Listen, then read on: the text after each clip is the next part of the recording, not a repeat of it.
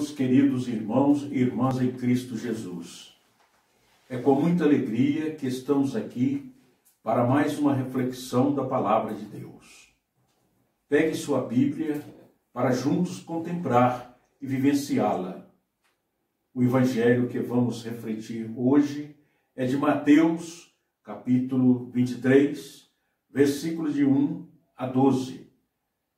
Estamos na segunda semana da Quaresma, tempo que nos convida à revisão de vida e à conversão, como preparação à Páscoa do Senhor.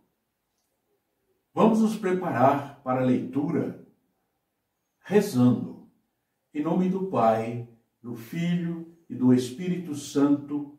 Amém. Que a graça de nosso Senhor Jesus Cristo, o amor do Pai e a comunhão do Espírito Santo esteja sempre conosco. Bendito seja Deus que nos reuniu no amor de Cristo. Meu Senhor e meu Pai, envia teu Santo Espírito para que eu compreenda e acolha a tua santa palavra.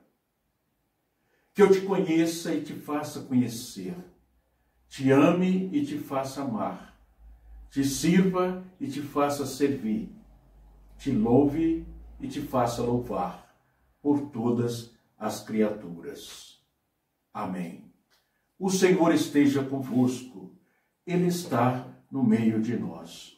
Proclamação do Evangelho de Jesus Cristo segundo Mateus.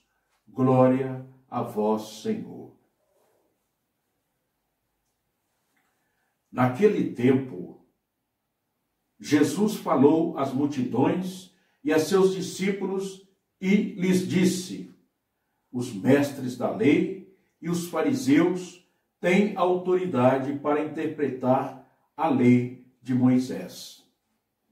Por isso, deveis fazer observar tudo o que eles dizem, mas não imiteis suas ações, pois eles falam e não praticam. Amarram pesados fardos e as colocam nos ombros dos outros, mas eles mesmos não estão dispostos a movê-los nem sequer com um dedo. Fazem todas as suas ações só para serem vistos pelos outros. Eles usam faixas largas com trechos da Escritura na testa e nos braços, e põe na roupa longa franjas, gastam, gostam de lugar de honra nos banquetes e dos primeiros lugares na sinagoga. Gostam de ser cumprimentado nas praças públicas e de serem chamados de mestre. Quando, quanto a vós, Nunca vos deixeis chamar de mestre, pois um só é vosso mestre, e todos vós sois irmãos. Na terra, não chameis a ninguém de pai, pois um só é o vosso Pai, aquele que estás nos céus. Não deixeis que vos chamem de guias, pois um só é o vosso guia, Cristo. Pelo contrário, o maior dentre vós deve ser aquele que vos serve. Quem se exaltar será humilhado, e quem se humilhar será exaltado. Palavra da salvação. Glória a vós, Senhor. Meus queridos irmãos, queridas irmãs, amados e amadas de Deus. O Evangelho de hoje traz dois elementos são importantes para nós a partir da leitura do Evangelho de hoje. O primeiro é que nenhum ser humano pode ser para nós modelo absoluto para a vivência do Evangelho, uma vez que todas as pessoas são pecadoras. E o segundo é que não podemos fazer da religião forma de relação de poder e de promoção pessoal.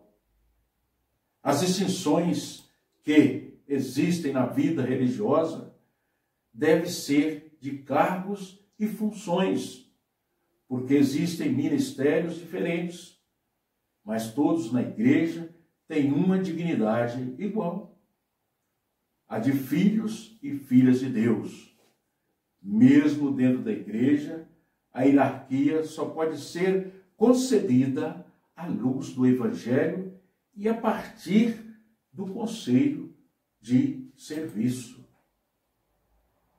Então, no Evangelho, Jesus insiste na obediência às leis e a observância dos ensinamentos de Deus obedecendo aqueles que conhecem as leis, destaca, porém, que obedecer às leis não significa imitar os que as interpretam.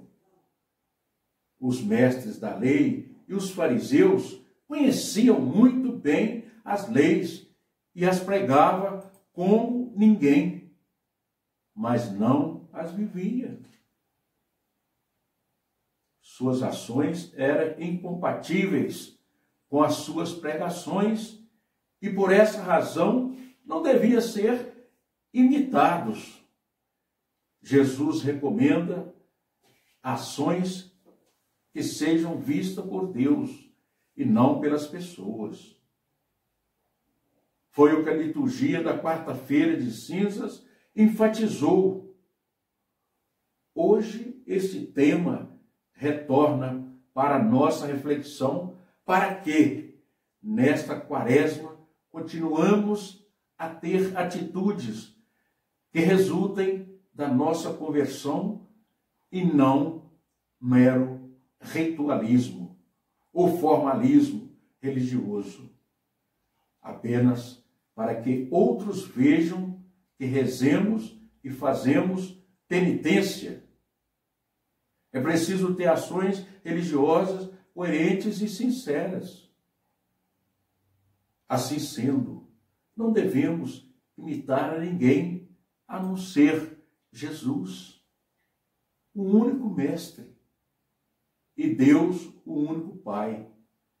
As pessoas, por mais santas que parecem, pareçam, nem sempre são modelos para serem imitadas ou referenciadas por meio da nomenclatura, honrarias ou títulos.